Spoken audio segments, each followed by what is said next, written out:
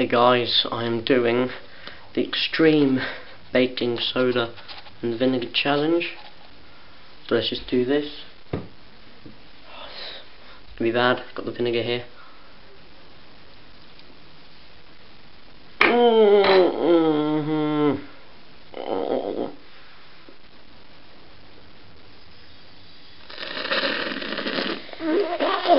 Mm-hmm.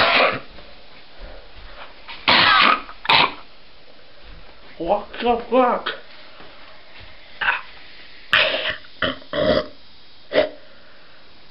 Oh, what the fuck?